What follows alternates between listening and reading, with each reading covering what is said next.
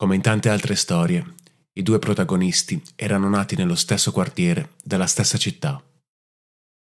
Quel quartiere che da sempre è un porto di mare per tutti i coraggiosi in cerca di fortuna, in cui le poche storie di successo diventano leggenda, mentre tutte le altre sono destinate all'oblio, se non peggio.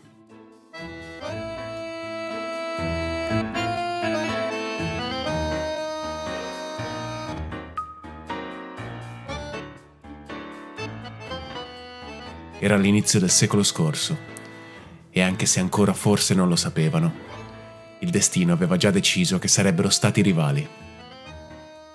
Camminavano per gli stessi vicoli, si fermavano a parlare agli stessi incroci e probabilmente bevevano caffè negli stessi bar. Chissà se a quei tempi, quando ancora non erano chiari i ruoli che si sarebbero svolti, forse, a tratti, si erano pure piaciuti.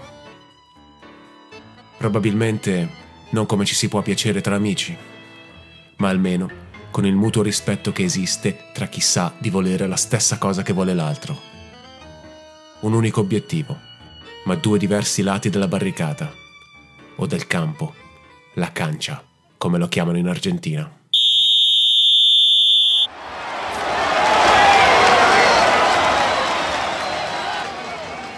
Era il 24 di agosto del 1908 quando Boca Junior e River Plate si affrontarono per la prima volta in un girone amatoriale e ancora non sapevano che le loro squadre avrebbero scritto alcune tra le pagine più belle del football argentino, anzi del mondo.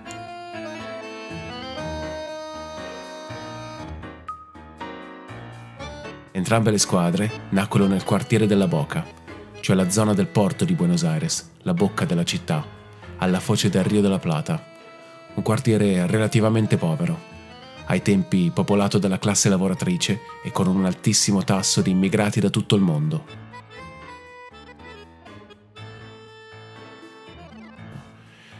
Il River Plate, detto El Milionario, fu fondato il 25 di maggio del 1901 dalla fusione tra la squadra di origine genovese Santa Rosa e la Rosales, un'altra squadra locale che si era fatta le ossa gareggiando con i marinai inglesi di passaggio per il porto. Secondo la leggenda, la squadra prese il nome dalle scritte sulle casse ammassate nel porto dai marinai inglesi. La scritta diceva, in inglese, River Plate, Rio della Plata, il fiume dell'argento.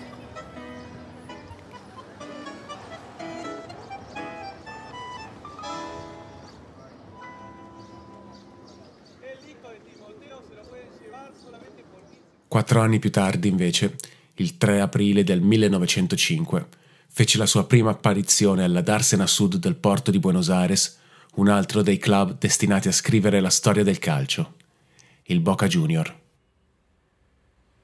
Come abbiamo detto, la zona della Boca era caratterizzata da un altissimo tasso di popolazione immigrata, in particolare italiana.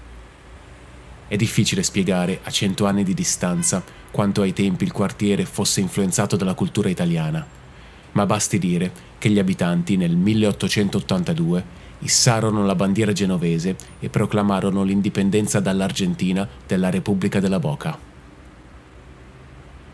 Dei 38.000 abitanti della Boca, a fine XIX secolo, solo 2.500 avevano origini spagnole. La grande maggioranza degli altri era nata in Italia ed infatti chiesero il supporto del re d'Italia Umberto I per tutelare la Repubblica della Boca.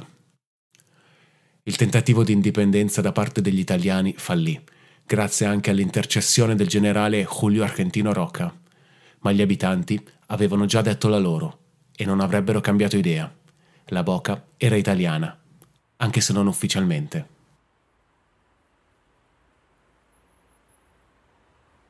Non stupisce quindi il fatto che il Boca Junior sia stato fondato da un gruppo di giovani italiani originari della provincia di Genova, che lasciarono un'impronta culturale talmente forte sul team che ancora oggi i tifosi si riconoscono nel nome di Zenesi, i genovesi.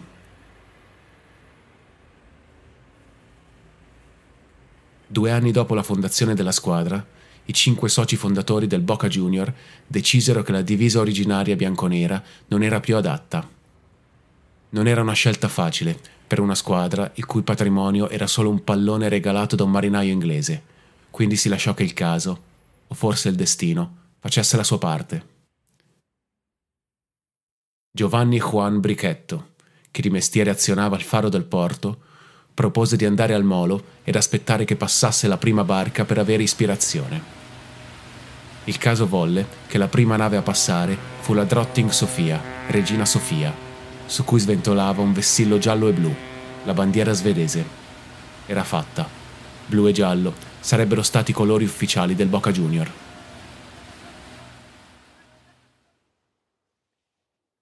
Nel frattempo, il River Plate non aveva mai smesso di macinare chilometri sul campo e il 27 dicembre del 1908 riuscì ad arrivare fino alla Primera Divisione, l'equivalente della nostra Serie A.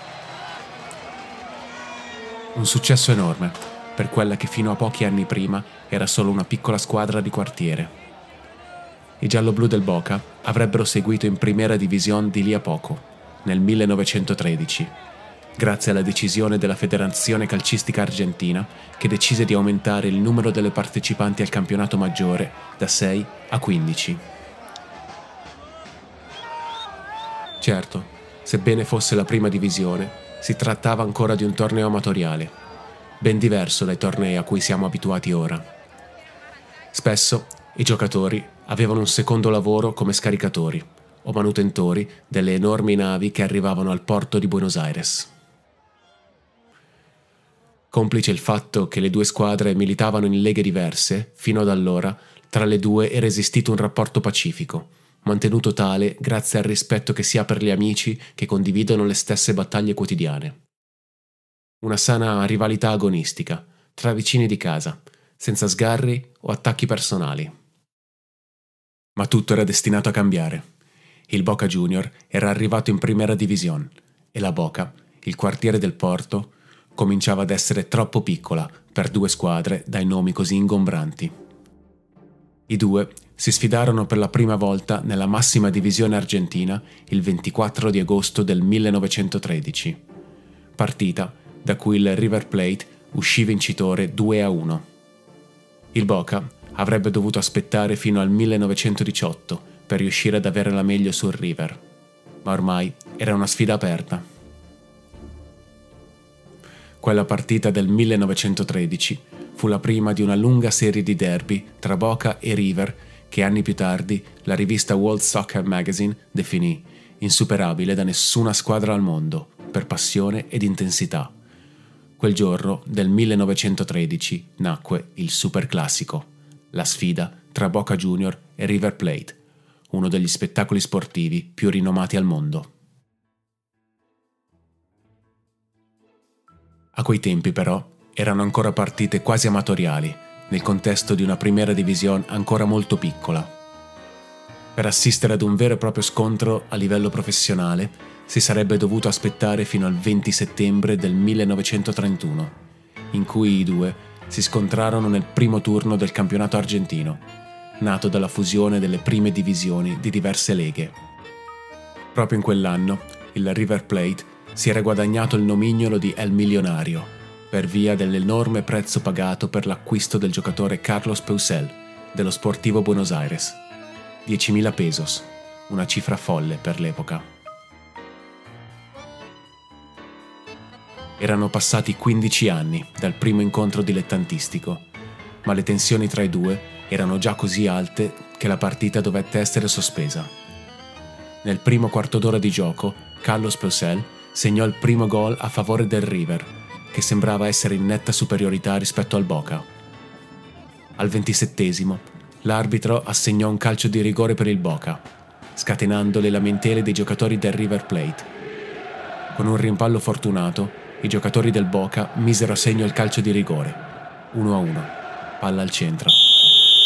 Non finì lì però. Di lì a poco, i giocatori del River tornarono a lamentarsi per un presunto fallo dell'attaccante del Boca e l'arbitro espulse tre giocatori del River e sospese la partita perché pare fosse stato aggredito fisicamente in campo. La rivalità tra vicini era stata esacerbata da alcune scelte della dirigenza del River Plate, che aveva portato il club a girovagare per diversi stadi per poi trasferire definitivamente la società in un quartiere benestante di Buenos Aires chiamato Palermo. Così il River Plate aveva tradito la classe lavoratrice del quartiere della Boca che gli aveva dato i natali. Successivamente, nel 1938, addirittura decise di trasferirsi a Núñez, una zona molto ricca, situata esattamente dall'altra parte della città, nel celeberrimo Estadio Monumental, di fatto disconoscendo la sua origine operaia. Il Boca Junior, invece, decise di rimanere fedele alla Boca e proprio lì, in quegli anni, fece costruire l'iconico Estadio Alberto Armando, passato alla storia come la Bombonera.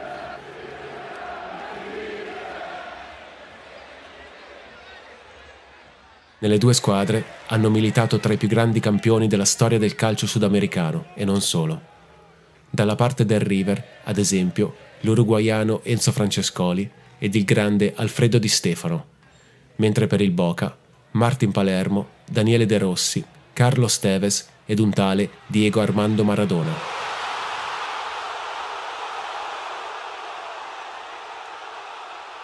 Diego ebbe a dire ho giocato una Barcellona-Real Madrid che è una partita importantissima, perché entrambe le squadre hanno città enormi alle spalle. Ma Boca River è diverso, è come andare a letto con Giulia Roberts. Ad oggi si sono giocati 251 Superclassico ed il Boca detiene il maggior numero di vittorie, con 89 partite vinte contro le 83 del River Plate e 79 pareggi. Tuttavia, il River detiene il maggior numero di campionati argentini vinti, 36, contro i 34 del Boca, fomentando ancora di più la battaglia tra questi due giganti del football.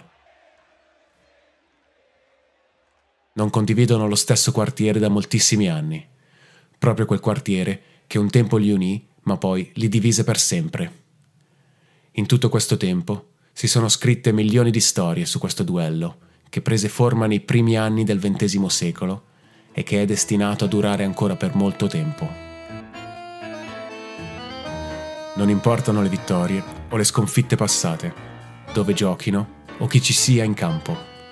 Ogni capitolo di questa sfida storica risveglia sempre nuove emozioni.